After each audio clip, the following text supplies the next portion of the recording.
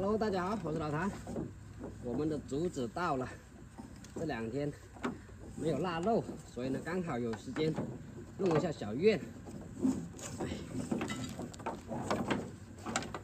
刚刚拉回来，要把它给卸车先。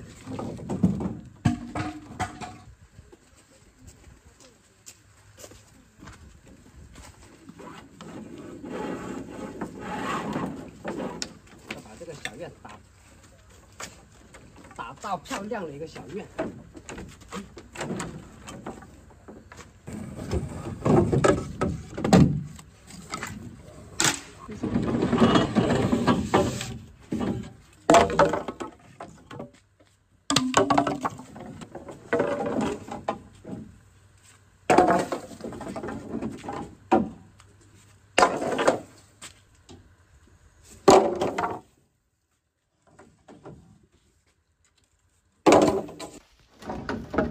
这车竹子看起来不多，但是卸卸车好多的，因为这个全部锯好了，两米两米的，是那种一长根的。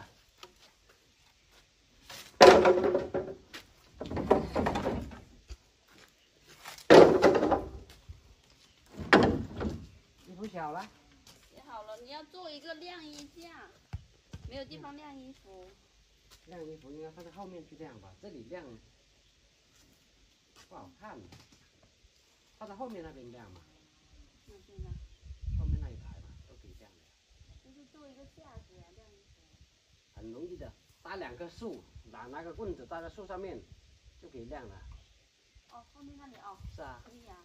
到时候把那个铁的栅栏把它拿走嘛，我重新把这个竹子做这么高的，这里都做这么高的，搞个篱笆的，不要太不要太费时费力费钱。要好看点嘛。等一下人家就像网友说，等一下人家又收走了，这里不会收走的，谁敢把毛票没有签合同了，没有任何事情是可以那个的，签合同也可以。那个这两天不是腊肉都卖完了吗？啊。然后还剩一点点，猪脚也剩一点点。啊猪脚有点，腊肉没有了，腊肉就那一斤一斤的还能砍几根，应该那里。还有一点，还半箱，感觉找出来还有半箱腊肉。算完应该有十单左右，一斤啊一斤应该有十单，我想说这几天不忙，我就回一下桂林，干嘛这样回去？我想回去看看。这里。不好吗？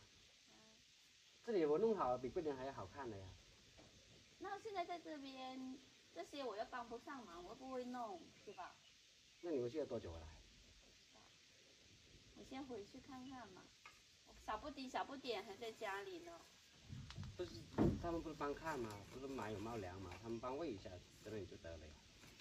那你走了，我洗澡了，他们好多天没洗澡了，等下都要长虫子。那你回去了，那我不在这里，我不是很很很无聊啊，很孤独啊。小年在这里啊，先回篱笆，回来你就围围完了。回来说不定就围完了，是不是？我先把衣服晾到前面去吧。啊。小九他们突然说，昨天也没跟我也没跟我说要回桂林的，今天突然说回桂林了，是不是我这里每天加班那么晚了，受不了了？现在是刚刚开始，后面就会啊这些东西弄好了，他们就不会那么累了。